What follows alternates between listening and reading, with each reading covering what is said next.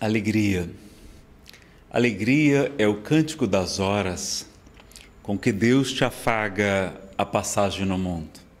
Em toda parte, desabrocham flores por sorriso da natureza, e o vento penteia a cabeleira do campo com música de ninar.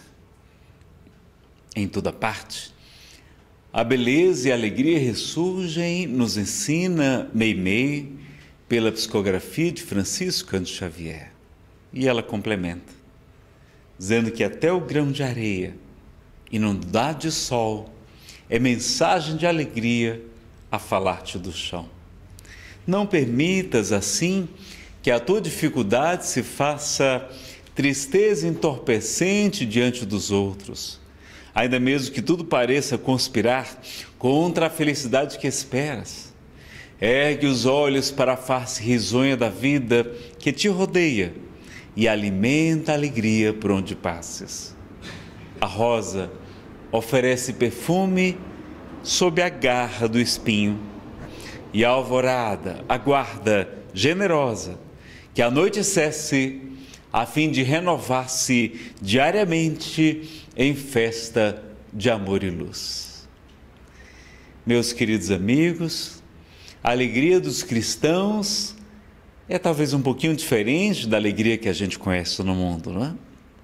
Então a gente vai hoje falar sobre o carnaval e os espíritos.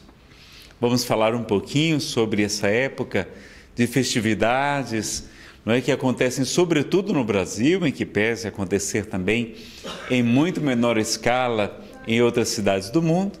E nós vamos então também ler antes uma mensagem chamada Evangelho e Alegria do Espírito Emmanuel, pela psicografia de Francisco Cândido Xavier, do livro Roteiro. Pediu ao Luiz que focalize então ali os slides. E ele diz: Grande injustiça comete quem afirma encontrar no Evangelho a religião da tristeza e da amargura. Indubitavelmente, sem dúvidas, Muitas vezes impregnamos o horizonte cristão de nuvens sombrias, com certas etiquetas do culto exterior.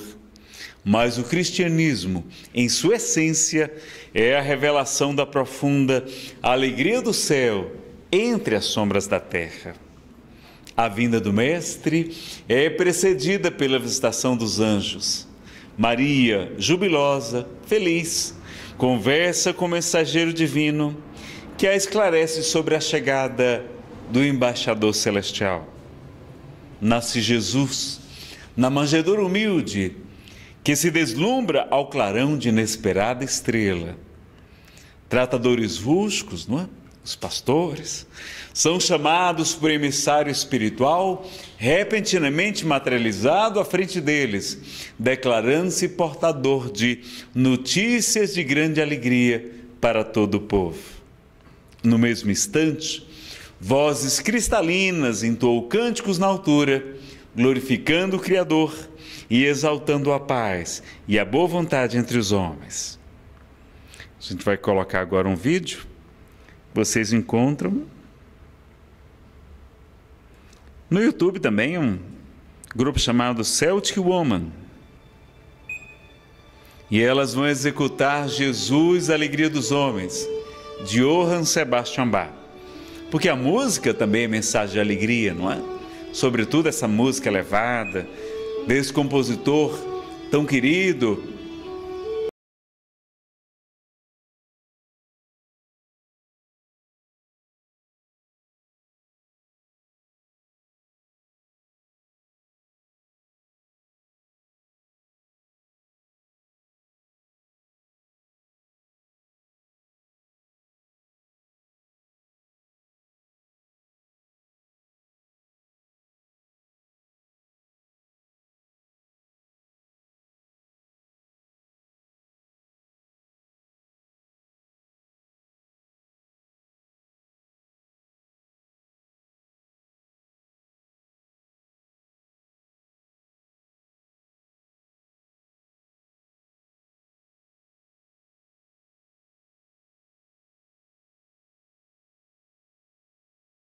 Mas enquanto elas cantam, a gente vai continuar lendo a mensagem, que ainda não acabou. Começa a reinar o contentamento e a esperança. Mais tarde, o mestre inicia o seu apostolado numa festa nupcial, num casamento, assinalando os júbilos, as alegrias da família.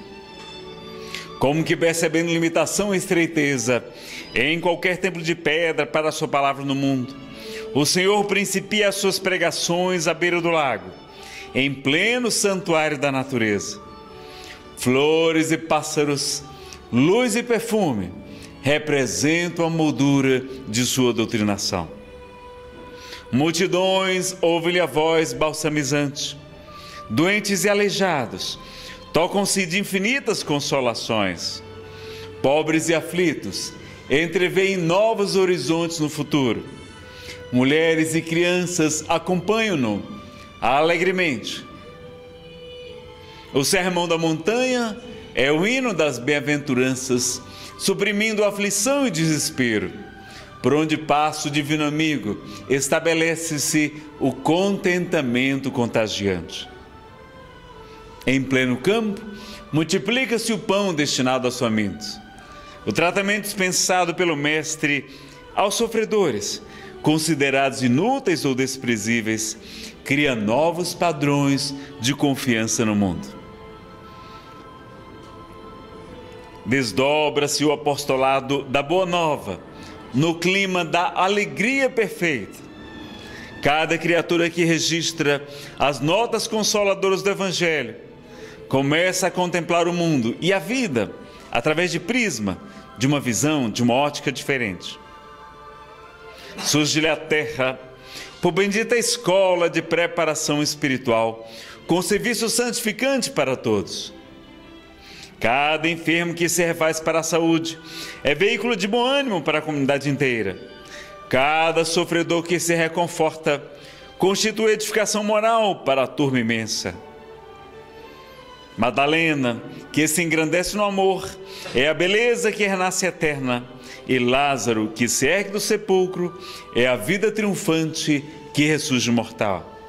E ainda, do suor sangrento das lágrimas da cruz, o Senhor faz que flua o manancial da vida vitoriosa para o mundo inteiro, com o sol da ressurreição a irradiar-se para a humanidade, sustentando o crescimento espiritual na direção do século sem fim. Bom, do livro Roteiro também está no livro Antologia Mediúnica do Natal, Emmanuel, Francisco Cândido Xavier, ambos da editora da Federação Espírita Brasileira.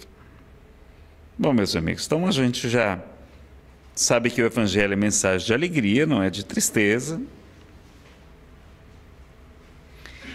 E precisamos então meditar um pouco sobre esses dias que se chama Carnaval. E a gente pesquisando na internet, assistindo algumas palestras, como de Divaldo Pereira Franco, entrevistas, vamos ver farto material, inclusive na literatura espírita, falando a respeito. Desde as origens dessas grandes festas de vários dias, quando surgiram pela primeira vez, talvez na Babilônia, muitos anos atrás. Depois, na Grécia, as chamadas bacanais, as homenagens ao deus Baco, o deus Dionísio dos romanos, que era o deus do vinho, para festejar a chegada das colheitas.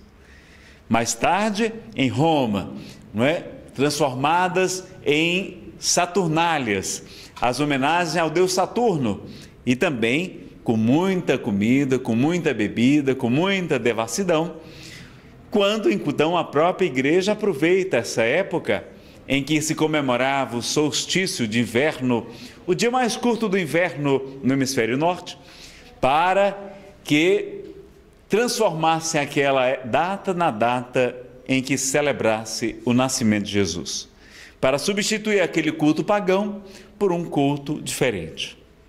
Mas uma outra tradição da igreja, já mais nos tempos modernos, a época da quaresma, quando as pessoas deveriam dedicar-se por muitos dias ao jejuns, ao estudo, à meditação, ao recolhimento, a busca da espiritualidade, meditando sobre o sofrimento de Jesus, sobre a paixão de Cristo. E para compensar a quaresma, o que, que as pessoas inventaram? Ah, já que vamos passar tanto tempo assim, sem comer carne, inclusive, não é? Com essa, essa buscando essa pureza, vamos fazer a despedida desse período. Vamos fazer a despedida da carne. Há quem diga que carnaval vem de carnavales, carna da vale, mas há também quem diga que vem do italiano, que seria é, o final da carne, tipo o adeus da carne. Então vejam que coisa curiosa. Então as pessoas já que iam ficar 40 dias né, de jejuns, de orações, ah não, então vamos aproveitar. E começaram a celebrar essas festas, não é? com a chegada, inclusive, não é? é, dos períodos da, de Veneza, com aquelas máscaras. Ainda hoje, se vocês forem a Veneza, ela é célebre pelas muito belas máscaras, mas um carnaval completamente diferente do que o que a gente vê no Brasil hoje, em 2015. Depois, na Riviera Francesa também, um carnaval muito famoso. E mais tarde, os nossos irmãos portugueses trazeram também ao Brasil. E com a chegada dos nossos irmãos africanos, com os instrumentos de percussão, ele foi tomando cada vez mais vulto, os dias se alargando e as pessoas cada vez, não é, permitindo-se mais licenciosidades. Se na época dos romanos e dos gregos, as pessoas, inclusive, é, permitiam que os escravos ficassem libertos por alguns dias e que comiam tanto que tinha que ter vomitórios públicos, e muito sexo irresponsável naquela época, vocês já sabem, não tinha tantos parâmetros como nós temos hoje. E como que estamos resgatando aquele período aqui no Brasil. Porque na época da Idade Média, de, algum, de alguns séculos atrás, esse período não era assim. Então, se era um pouco de festa, porque a gente sabe que não há nenhum problema com a festa, com a alegria. Aliás, no próprio livro dos Espíritos nos fala da lei do trabalho, mas também fala da lei do repouso, da necessidade que nós temos de repousar o corpo para poder aurir forças, para estarmos bem, para continuarmos a lida. Então é importante que tenhamos nosso momento de repouso. E o Espírito Marcos Prisco por Divaldo Pereira Franco vai dizer que o repouso também se obtém através da mudança de atividade. Por exemplo, se você está somente, não é, estudando, somente trabalhando e for fazer um trabalho manual, for fazer um trabalho, não é, algum tipo de diversão, algum tipo de jogo, algum tipo de esporte, só a, a, mudança do foco mental, mesmo que você esteja não é, fazendo atividade física, seja costurando, seja fazendo qualquer tipo de trabalho manual, sobretudo, você descansa sua mente.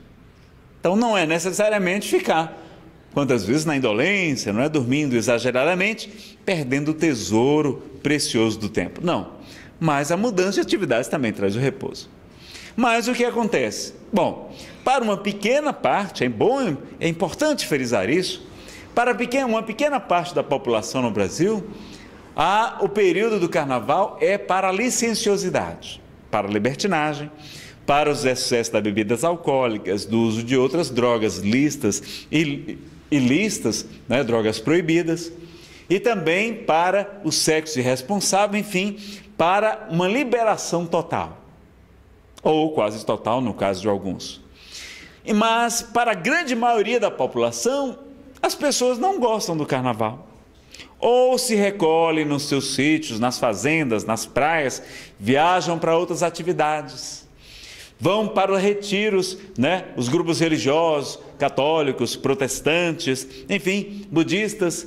E aqueles que adotam a filosofia espírita também costumam ter encontros, é, eventos durante o carnaval, são muito conhecidos, é, esses períodos que não é propriamente um retiro, mas é uma série de atividades, de palestras, como acontecerá todos os anos acontece, na época do Carnaval, o Congresso Espírita de Goiás, em Goiânia, num evento belíssimo, há muitas décadas já, não é? E convido, aliás, vocês a participarem desse evento lá em Goiânia, o Congresso Espírita de Goiânia acontece no Carnaval, esse ano em homenagem ao livro Céu e Inferno, Verdade ou Mito? É o tema principal. As crianças participando de atividades não é, próprias para as crianças, os jovens também, com atividades de teatro, de música, não é, de uma série de outras atividades, de esporte, de encontros, de palestras também. E de paquera, por que não? Nós estamos em relacionamentos mais saudáveis e ali sob a direção ética de profissionais, de pessoas dedicadas, pessoas lúcidas que estão inteiradas nesse trabalho. A UZERJ, a União das Sociedades Espíritas do Rio de Janeiro, também promove em várias regiões eventos, enfim, aqui mesmo em Brasília, entre tantos outros lugares.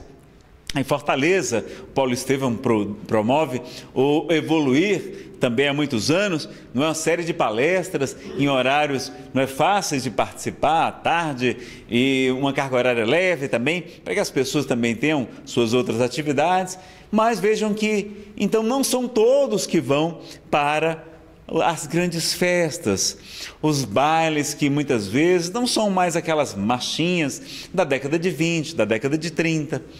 O próprio espírito Noel Rosa teria se comunicado, trazendo informações por Francisco Cândido Xavier, da lamentação da sua vida boêmia aqui na Terra. E pelas músicas que compôs, mas as músicas de Noel Rosa, quando você vai ver, são ingênuas comparadas com as músicas de hoje. Músicas que é, rebaixam a mulher, rebaixam essa atividade sagrada que é a sexualidade, que rebaixa o ser humano. E sobre o som frenético dos batuques, as pessoas cantam sem muitas vezes nem sequer prestar atenção à letra do que estão cantando. Então vejam que é importante compreendermos as distorções que aconteceram, e nesses períodos a gente saiu de uma repressão talvez muito grande na Idade Média para um exagero também agora. Corpos desnudos apresentando-se nos grandes desfiles, nas escolas, nos seus próprios bailes. E as pessoas já estão tão cansadas de ver pessoas despidas que já nem se encantam tanto, já não parece que nem é novidade. Nem se empolgam tanto porque já estão cansadas de ver isso na TV, não é nas revistas, na internet. Tal ficou disseminada a sexualidade nos dias de hoje. Então vejam, a que ponto chegamos? Será que isso é saudável para o ser humano? Ou será que isso é um rebaixamento? Bom, nós sabemos que existe a lei do progresso, que estamos evoluindo num mundo ainda de expiações e provas, um mundo ainda atrasado. Estamos na condição ainda de espíritos imperfeitos e usando o corpo físico que tem os hormônios, que tem não é, todo esse apelo do instinto da animalidade, que tem uma série de, de exigências que nos tornam mais frágeis até. E talvez por isso Jesus tenha dito: o espírito está pronto, mas a carne é fraca. Então, realmente, está sob o império do instinto de conservação, o império do, da testosterona, não é, da adrenalina, desses nossos hormônios poderosíssimos que provocam tantos desastres também pela falta do autocontrole. Nós temos que ter muito cuidado, sobretudo quando estamos na fase da juventude. Psicólogos, psicopedagogos, vão declarar que o senso de responsabilidade dos jovens só começa realmente a surgir por volta dos 22, 23, 24 anos de idade, depende, depende de cada jovem, porque antes a pessoa não tem consciência da responsabilidade dos seus atos. E com o uso das drogas, que deixam a gente mais permissivo, por exemplo, o álcool, também em menor escala, mas também a maconha, deixa a gente mais permissivo. Então a gente, depois de uma cervejinha, a gente aceita experimentar o êxtase, uma metanfetamina que provoca grande dependência e pode causar a morte. A gente experimenta o baseado de maconha, a gente experimenta a cocaína, altamente viciante, e hoje nós temos o crack e o oxi, que é o crack oxidado, que é cinco vezes mais poderoso do que o crack, vocês terem uma ideia. feito com gasolina, com querosene, com óleo diesel, misturado com crack que já é o resíduo da cocaína. Então as pessoas estão, inclusive até de maneira inocente, porque as moças começaram a beber hoje de maneira exagerada. Antes as mulheres quase não bebiam. Mas hoje meninas com 12, 11, 12, 13 anos de idade vão para atendimento em estado de coma alcoólico. Vamos verificar que inclusive há substâncias como ficou famoso o Boa Noite Cinderela é um hipnótico, existe essa, esse remédio.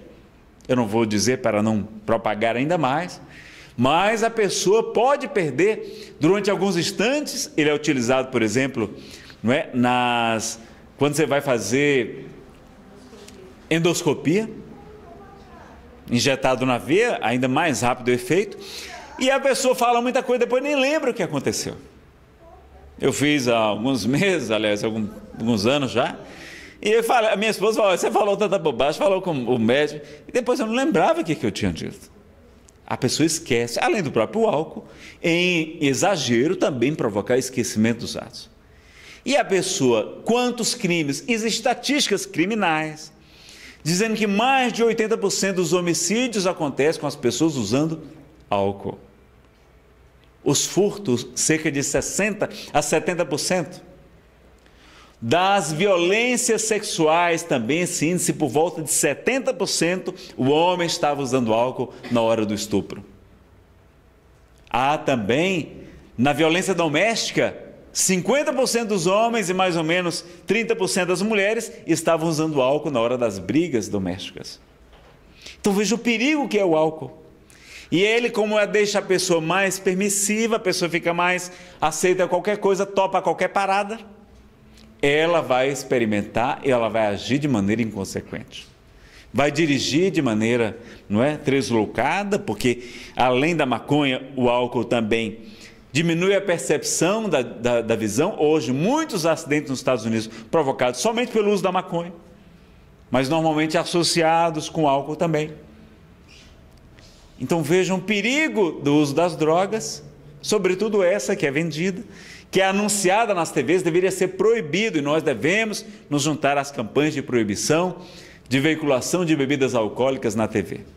Porque as nossas crianças, os nossos jovens, vê as propagandas lá naquelas praias, né? acho que é para fazer inveja de mim, que sou do Ceará, aquelas praias lindas, aquelas moças e jovens com corpos esculturais, quando aquilo não corresponde à realidade. Quer saber o que, é que o álcool provoca? Vá para um hospital psiquiátrico. A grande maioria dos leitos é ocupada por ex-alcoólatras, alcoólatras, na verdade. Então vejam que a gente não conhece, os jovens não têm noção do que fazem, e além da pessoa estar tomando, às vezes, um refrigerante, um suco, alguém pode colocar uma droga, um remédio chamado Boa Noite Cinderela e a pessoa perder ali durante algumas horas, quatro horas, o senso, inclusive a lembrança do que aconteceu. Então, precisamos estar atentos, porque existe, do ponto de vista físico, uma série de problemas. Então, o carnaval, as grandes festas, provoca aumento da violência, aumento dos furtos, dos homicídios, brigas entre casais. Sabe uma pesquisa associada ao jornal Correio Brasiliense? De alguns psicólogos entrevistando casais que foram para o carnaval e de cada dez casais que foram participar de algum tipo de festa, de seis a sete brigaram, tiveram problemas de ciúmes, ficaram chateados um com o outro por algum motivo no carnaval. Então, Vários deles, inclusive, tiveram rompimento do relacionamento, inclusive separações de pessoas casadas. E muitos confessaram que seriam capazes de fazer algo que talvez se arrependessem depois. Então vejam que aumentam níveis de adultério, de brigas, de separações, de como as pessoas exageram nas bebidas também né, de, de violência contra as crianças, além dos acidentes, entre tantas outras coisas. Vocês sabem, a sujeira que fica nas cidades. Parece uma coisa da Idade Média. São verdadeiros batalhões de garis depois para limpar a sujeira atrás dos trio elétricos e as pessoas não é fazendo suas necessidades fisiológicas nas ruas, nos becos e até relacionamentos sexuais em plenas, em plenas ruas. E em que pese o desfile apresentar normalmente obras de arte, não é com, com toda aquela, aquela beleza da arte das, das, das fantasias, o que nós vemos não é só isso. O que nós vemos normalmente é um desfile ou de celebridades, nos camarotes caríssimos, quanto se paga por um espaço daquele. O que se vê também é pessoas buscando ver outras sem roupa, então, o estímulo ao sexo, naquele ritmo frenético, porque os instrumentos de percussão, eles estimulam aquela energia, a dança. Quem não se contagia, não é? Com algum tipo de rock, de, de... é uma coisa que não mexe com o nosso corpo, não é? E é interessante, até para combater a depressão, mas a gente acaba entrando na folia que não é tão saudável assim, normalmente. Então precisamos ter essa consciência. E se do ponto de vista físico, essa grande tragédia, sobretudo com um grande número de abortos, porque as pessoas fazem, têm relações sexuais sem preservativo, sem a camisinha. Ou os governos normalmente distribuem preservativos, em vez de distribuírem também, sobretudo, cartilhas, vídeos, terem propagandas na TV explicando sobre educação sexual, sobre o perigo da AIDS e não só da AIDS, várias doenças sexualmente transmissíveis, como a sífilis, entre tantas outras que têm dizimado milhões de pessoas no planeta. Na África, na Europa, não é o problema só da AIDS. Quantas pessoas que não sabem que tem a doença. São portadoras, não têm a manifestação dos sintomas ainda, mas podem transmitir a doença, e inclusive para os seus parceiros em casa, para suas esposas. Então vejam que o problema é mais sério do que a gente imagina. Não bastasse isso. Quando nós interrogamos sobre a questão dos espíritos, na questão 459 de O Livro dos Espíritos, Allan Kardec perguntou: se os espíritos influenciam nossos pensamentos e nossos atos. E eles vão responder: muito mais do que vós imaginais. Normalmente são eles que vos dirigem. E a gente pensa, não, eu não tenho um livre-arbítrio. Não temos sim um livre-arbítrio. Mas o problema é que nós podemos escolher pelo livre-arbítrio sintonizar naquela frequência, naquela sintonia de espíritos superiores, sintonizando com os pensamentos do bom, do belo, do amor, da paz, da caridade, da fraternidade, do perdão. Ou podemos sintonizar com as, as paixões menos nobres, com os instintos da animalidade, com as emoções do ódio, da mágoa, da vingança da sexualidade, que é um, é um patrimônio divino. Nós não temos nenhum problema, nenhuma restrição quanto à sexualidade, mas ela deve ser exercida com responsabilidade. Nós temos um seminário somente sobre sexualidade e espiritualidade quando a gente estuda esse assunto em mais profundidade. Mas nós estamos muitas vezes provocando viciações e pessoas, não é que têm alguma dificuldade nessa área, como é que vão assistir a mesmo que seja na TV aos desfiles com aquelas mulheres seminuas, com homens também? Como é que vão estar assistindo aquilo e não se contagiarem com os pensamentos? Como é que não vão ficar com aquilo em sua tela mental? Então vejam que até assistir pela TV pode não ser tão bom se a gente não tem ainda não é, autonomia, não tem um poder sobre si mesmo e é muito difícil, sobretudo no sexo masculino. Porque no sexo masculino há uma diferença entre o sexo masculino e o feminino. Nós sabemos que os espíritos não têm sexos. Eles podem reencarnar como homem ou como mulher, mas o corpo masculino, como temos na animalidade, isso também. A testosterona é um hormônio muito poderoso que é uma pulsão de vida. E poucos de nós têm a condição de dizer: olha, eu consigo controlar meus instintos da sexualidade. É muito difícil. Por isso vocês veem que a, o homem consegue sentir não é, é, prazer enquanto violenta uma mulher, enquanto bate nela, enquanto está com um revólver apontado para ela. Como é que ele consegue sentir alguma, alguma coisa agradável com uma vítima indefesa, chorando, sangrando muitas vezes? Nós estamos ainda beirando a animalidade. E se deixarmos então, se estimularmos essas viciações, que vêm de muitas outras encarnações, vai ser muito difícil nós nos desapegarmos da matéria. Ao mesmo modo, lá em O Livro dos Espíritos, Kardec pergunta: aquele homem que busca o refinamento dos prazeres, ele está perto da morte física ou da morte moral? E os espíritos vão responder: de ambas. Está perto da morte física pelo excesso de comida, pelo excesso de tóxicos e também da morte moral, ou seja, de ir perdendo não é, a, a, o discernimento, os, os bons costumes, a, o estoicismo, que a gente, claro, não precisamos ver como os eremitas, não, mas é necessário que a gente aprenda a dominar um pouco e seja esses instintos. Até a fome a gente não consegue segurar. Fazer regime é uma guerra, não é?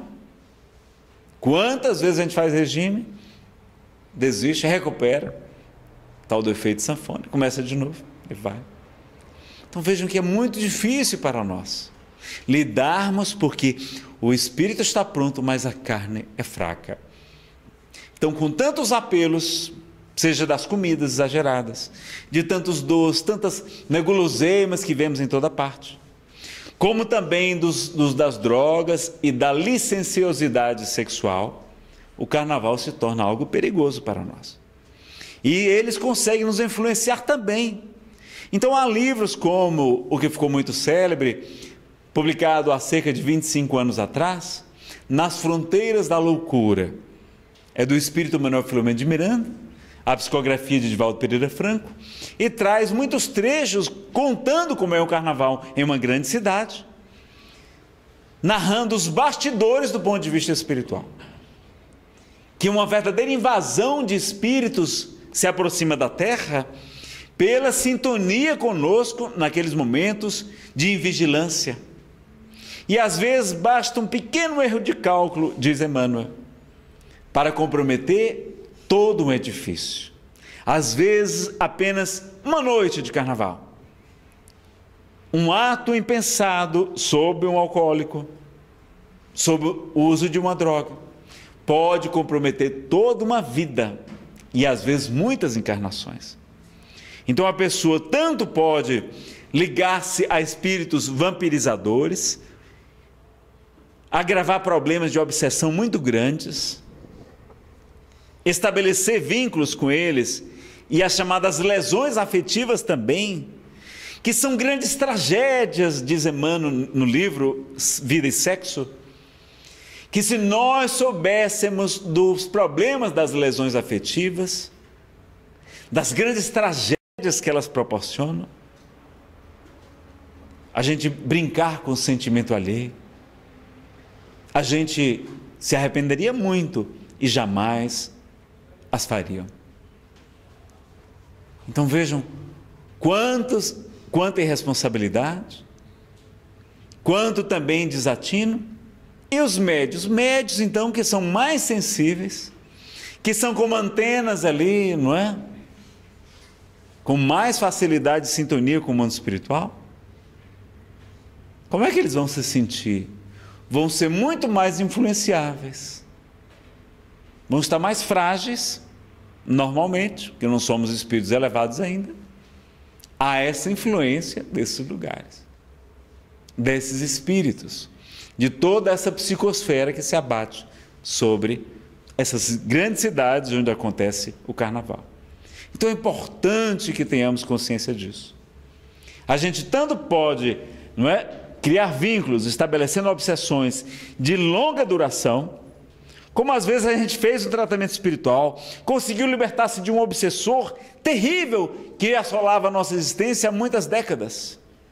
Estamos muito bem, mas quando retornamos e quando baixamos esse nosso padrão vibratório de sintonia, é o momento de se religar àquele obsessor que a gente estava liberto.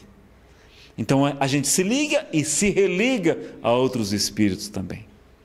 Então é importante, meus amigos, que a alegria do cristão seja uma alegria comedida.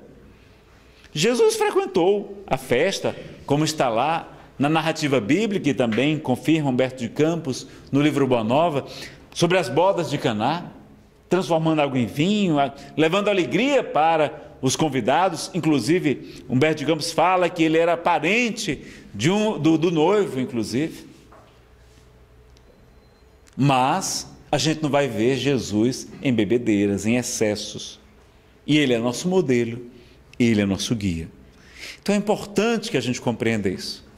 Então, neste livro, por exemplo, o Manuel Filomeno de Miranda vai narrar que Dr. Bezerra de Menezes vai interceder quantas vezes, porque do mesmo modo há uma espiritualidade muito nobre tentando aparar todos nós, evitando esses suicídios conscientes ou inconscientes. Vai narrar o caso, por exemplo, de uma jovem que não participava do carnaval, que fora visitar uma senhora que visitava todas as semanas ela morava na zona norte do Rio de Janeiro. Pegou o trem e, quando desceu, uma turba de desocupados estava ali alcoolizados e vendo aquela moça bonita, estavam lá já se aproximando para fazer uma violência sexual. Doutor Bezerra atende aquela prece pessoalmente e consegue inspirar uma viatura de polícia que estava ali o motorista de repente resolve dobrar, mudar sua, o seu itinerário e seguir aquela direção e consegue chegar ao local onde ela estava sendo acuada já pelos rapazes nos minutos finais. E então eles são presos, alguns fogem. Ela, inclusive, não, não, não deseja nem dar queixa, mas veja uma proteção também do mundo espiritual para aqueles que estão na sintonia buscando o bem, buscando a fraternidade. Então, do mesmo modo que existem os espíritos bons tentando nos ajudar, há uma grande quantidade de nós que não conseguimos perceber. Porque na hora que a gente está fora do padrão vibratório adequado, quando a gente se miscui naqueles pensamentos, naqueles sentimentos, naquelas emoções mais baixas, nós não percebemos a inspiração dos espíritos superiores. Então eles tentam nos ajudar, se aproximam, mas é, falam por um ouvido e a gente sai pelo outro. Então é importante que estejamos vigilantes, orando. Vamos orar pelos nossos jovens, pelas pessoas que se encontram nas festas. Vamos participar de eventos durante o carnaval, eventos espíritas. Se você é de outra religião, vá ao, ao retiro católico, ao, ao estudo bíblico Participemos dessas atividades, ou vá fazer uma boa leitura, viajar para ver a família, mas eu acho que não vale a pena. Para gente que ainda é tão frágil estar se expondo a essa esse momento de loucura. Chico Xavier vai dizer que por volta da década de 40 o espírito humano levou em desdobramento para uma cidade no mundo espiritual que ele chamou de cidade estranha. Chico ficou muito surpreso porque, ao ver naquela cidade, todas as, as habitações, todas as construções lembravam órgãos genitais masculinos e femininos. E ele vai ver um, como se fosse um desfile, que lembra muito o carnaval de hoje, quando então homens e mulheres seminus estão ali como se fosse se despedindo daquela cidade. E Emmanuel vai dizer: Chico, chegou uma ordem do mundo espiritual superior e todos eles irão reencarnar. E a sua grande maioria na Terra. Chico retorna E depois de alguns anos, na década de 60, ele assistindo a uma entrevista num desses programas de TV, vai ver um rosto que ele lembra um dos aqueles que ali se encontrava na cidade estranha. Emmanuel então aparece e vai dizer: É, Chico, eles já chegaram, eles estão entre nós. Então, daquela década para cá, década de 60 para cá, nós estamos vendo, parece que temos recebido espíritos também muito necessitados de evolução nesta área. E é importante que possamos também ajudá-los com a palavra lúcida, com a prece, com o esclarecimento, com a divulgação do Evangelho, do bem e da doutrina espírita. A gente vai colocar uma mensagem para encerrar a nossa palestra. Vai ser um vídeo, só que eu tenho um recado para dar também. o vídeo vocês encontram no YouTube. É Visão Espírita do Carnaval. É só procurar. São citações das obras de Emmanuel, de Filomeno de Miranda.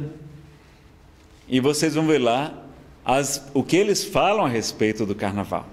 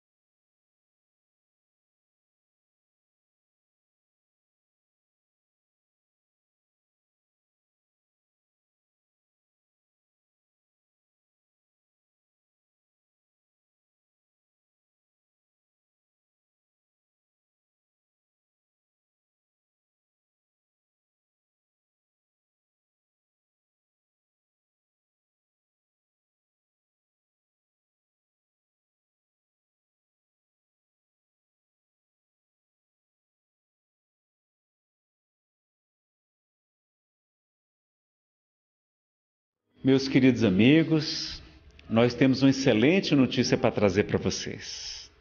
Como vocês sabem, a FEDEF, a Federação Espírita do Distrito Federal, realiza sempre eventos gratuitos, mas a cada três anos ela também realiza grandes eventos destinados a um público diferente, a quem não é espírita também. Então, faz normalmente em um centro de convenções, como o Ulisses Guimarães, faz uma grande divulgação na mídia, na TV, nos meios de comunicação, para que a mensagem espírita possa também ser levada a outros corações. Para que pessoas não religiosas, para pessoas que jamais entrariam uma casa espírita, possam também participar de um evento público, num local neutro, não é verdade? E com uma ampla divulgação. Então, nós vamos ter agora nos dias 17, 18 e 19 de abril de 2015 o terceiro Congresso Espírita do Distrito Federal.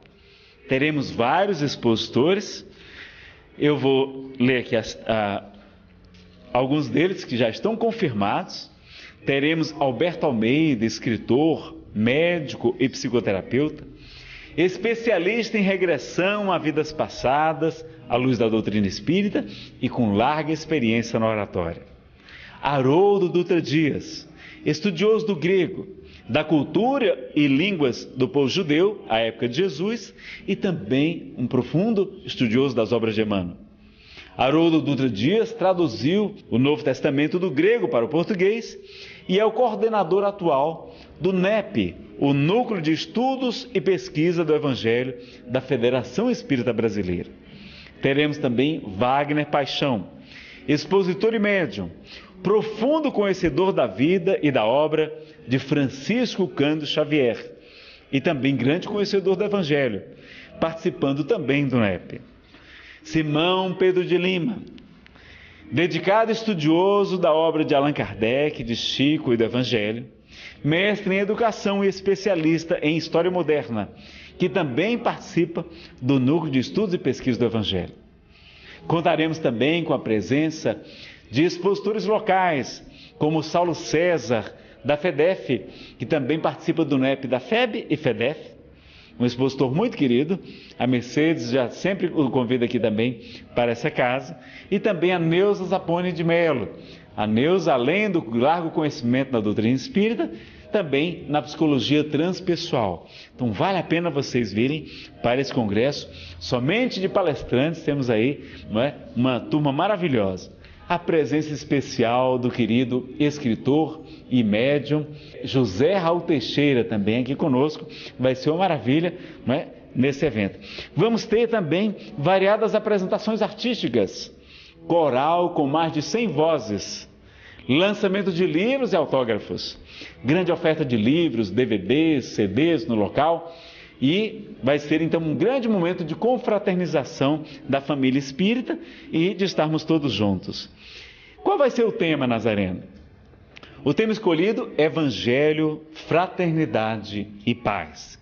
Ele homenageia os 150 anos da publicação do Evangelho segundo o Espiritismo, que foi ano passado, 2014 divulgando ao grande público essa obra extraordinária, levando esclarecimento, consolo, esperança e paz para todos, para quem tanto precisa.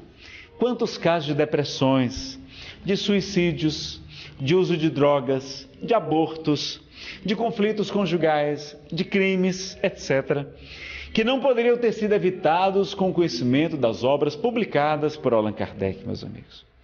Não é verdade? O Congresso irá ressaltar a importância de como buscar a paz íntima, a paz em família, a paz e a fraternidade na sociedade. E fazendo a sua inscrição antecipadamente, vocês garantem uma série de vantagens e ajudam a FEDEF na divulgação. Você já garante sua vaga, evita filas, tem excelentes descontos se você adquirir antecipadamente o ingresso Ajuda a FEDEF a distribuir mais cortesias para quem não pode pagar. Ela sempre distribui cortesias para aquelas pessoas carentes que também desejam participar e não têm como pagar a inscrição. Então, sempre tem um percentual que fica para essas pessoas carentes. Vai garantir também a inscrição de suas crianças e jovens, né? Vai ter um espaço para 400 jovens, crianças, eu acho que são cento e poucas, eu não tenho esse número exato, que vão participar no sábado e no domingo, com programação e preços especiais.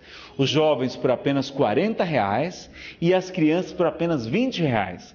E eles vão receber gratuitamente almoço no sábado e os lanches do sábado e do domingo também graciosamente. Mas atenção, como as vagas são limitadas, essas inscrições só vão ser permitidas para os primeiros pais ou responsáveis que se inscreverem para que eles possam então inscrever seus filhos, tá certo? Tem que estar participando do congresso e tem que ser antecipado porque são poucas vagas, são 2.400 vagas para os adultos, mas somente 400 jovens e alguns poucos de crianças. E mais, você auxilia a FEDEF a obter recursos para ampliar logo a divulgação nos grandes meios de comunicação para o público leigo, para quem mais precisa. Então vale a pena também a gente comprar agora mesmo, em fevereiro, não é? Porque a gente vai, a FEDEF vai ter mais recursos para poder ampliar a divulgação. Como a gente conseguiu em 2012, transição planetária, até nas TVs vocês viram anúncios na TV, outdoors, e a gente quer fazer isso o quanto antes.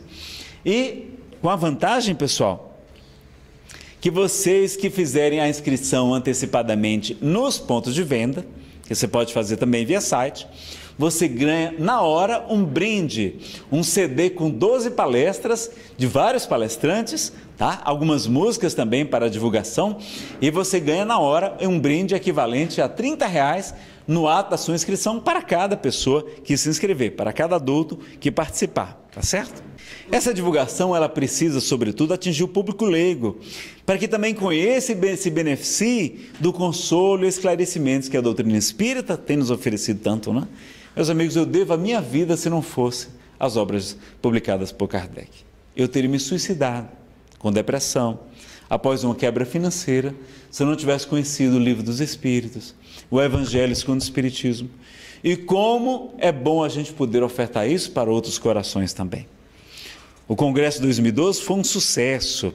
Auditório lotado, excelentes apresentações, muita emoção, grande confraternização. São centenas de trabalhadores espíritas, não é? E uma grande divulgação nas redes TV e mídia, graças a você que comprou antecipadamente o seu ingresso. É por isso que a FEDEV pede a você que, se possível, faça as suas inscrições o mais breve. Nazareno, mas eu não sei se 17, 18 e 19 de abril eu sei que é depois da Páscoa, mas eu não sei se eu vou estar em Brasília. Não há nenhum problema. Você pode também repassar a sua inscrição para outra pessoa. Pode dividir o seu crachá e a sua pasta, se desejar, com outra pessoa ou com outras pessoas. E você então permite que outras pessoas participem. Ou então, nós poderemos utilizar aquela vaga para distribuir mais cortesias para as pessoas carentes. Então, vale a pena você também escrever de qualquer maneira, porque pode transferir para outra pessoa. Vocês também podem pegar informações no site da Federação Espírita do Distrito Federal. O site é www.fedf.org.br e lá pode fazer inscrição online também utilizando todos os meios de pagamento conhecidos, não é? Vocês podem fazer com boleto bancário no site, pode ser via cartão de débito ou de crédito, mas também nos pontos de venda também tem maquininhas de cartão para que você também possa ajudar de várias maneiras a Federação Espírita do Distrito Federal a fazer essa grande festa, esse grande momento que a gente vai estaremos lá unidos, utilizando toda essa energia, toda essa, essa confraternização Contam-se muitos médios, muitos trabalhadores, o próprio Divaldo fala, que nas sessões de estudos, de palestras, de congressos, ocorrem verdadeiras desobsessões. Está lá no livro Conversa Fraterna. É? E ele, médio vidente, vier os espíritos nobres atendendo a todos nós, encarnados, e também às nossas companhias espirituais. Então, nesses momentos, toda aquela energia a espiritualidade usa para ajudar regiões do mundo espiritual, necessitadas também daquela vibração. Então a gente fica sexta-noite, começa a partir das 19 horas, é abertura. Sábado de manhã e de tarde. E domingo é até às 13 horas, não é? Então a gente também tem algumas folgas, a gente vai poder estar participando unidos e reunidos nesse ideal de prece, de vibração, de cânticos, de teatro, de muitas apresentações artísticas, um coral com mais de 100 vozes na abertura, também abrilhantando a festa e vocês poderem nos ajudar nessa grande divulgação que a doutrina espírita nos convida. Emmanuel, no livro Estude Viva, capítulo 40, vai dizer que o Espiritismo solicita uma espécie permanente de caridade, a caridade da sua própria divulgação. Então vamos fazer essa grande caridade de levar não só os alimentos, a, a roupa, mas sobretudo a luz, o esclarecimento, o consolo aos corações, que isso talvez estejamos todos muito mais necessitados do que esses gêneros desse tipo. Então visite o site da FEDEF para mais informações, www.fedf.org.br e a gente aguarda vocês lá no Congresso Espírita do Distrito Federal, no Centro de Convenções Ulisses Guimarães.